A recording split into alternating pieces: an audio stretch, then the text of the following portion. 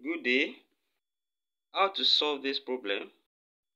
8 raised to power x plus 2 raised to power x equals to 30.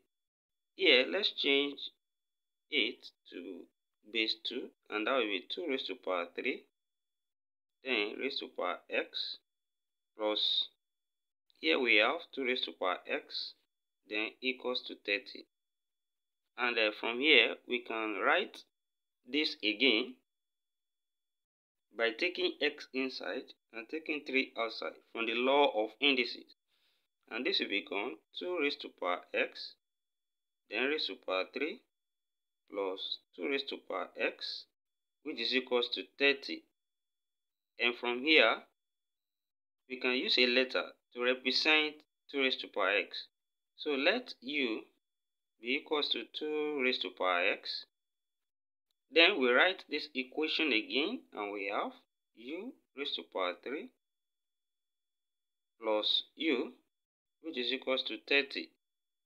And uh, by the time we bring 30 to this side so as to form an equation, we have u raised to power 3 plus u minus 30 plus on this side will become minus then equals to 0 then we can write 30 as minus 27, then minus 3.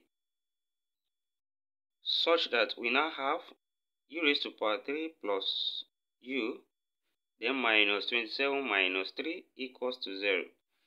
And uh, let's collect minus 27 to this side, and we have u raised to power 3 minus, then 27 can also be written to the power of 3. That will be 3 raised to power 3. Then plus u minus 3, which is equals to 0. Now, from here, we have difference of 2 cube here.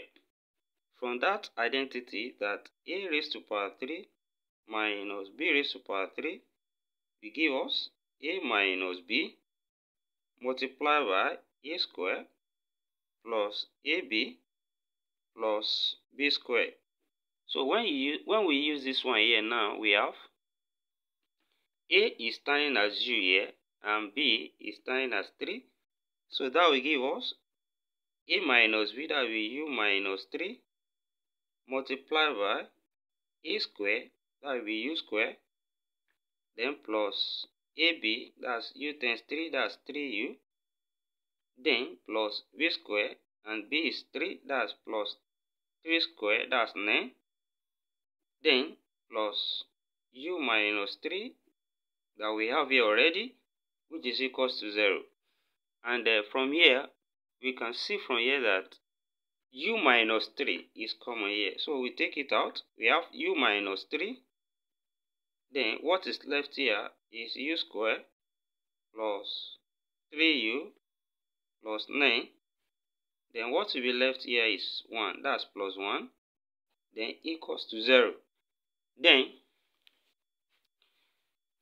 we can write this again and we have u minus 3 then times u square plus 3u then 9 plus 1 that will give us 10 that's plus 10 which is equals to 0 and uh, here we have two possible cases here we have u, the first is u minus 3 is equals to 0. And we have u square plus 3u plus 10 is equals to 0. And uh, from here, we take minus 3 to this side, become plus. That's u equals to 3. And here, we find the value of u from here as well. And don't forget that u is equals to 2 raised to power x. So this is expected to be a real number from here. U is expected to be a real number. So let's check if u will give us a real number here with the discriminant which is b square minus 4ac and from here a is equals to 1 b is equals to 3 and then c is equals to 10 and when we apply that, we have b square, which is 3 square minus 4a. a is 1, then c, we have 10, Then 3 square, that is 9 minus 40. Of course, this will be less than 0. And uh, if we have the discriminant less than 0, this will give us an imaginary root from here. Then, we conclude that there is no solution here. Now, let's come back here. We have u equals to 3 and u is 2 raised to power x.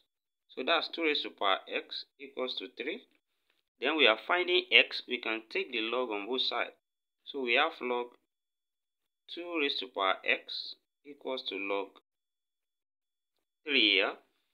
Then from the law of logarithm, this x can come to the back here and we have x log 2 equals to log 3.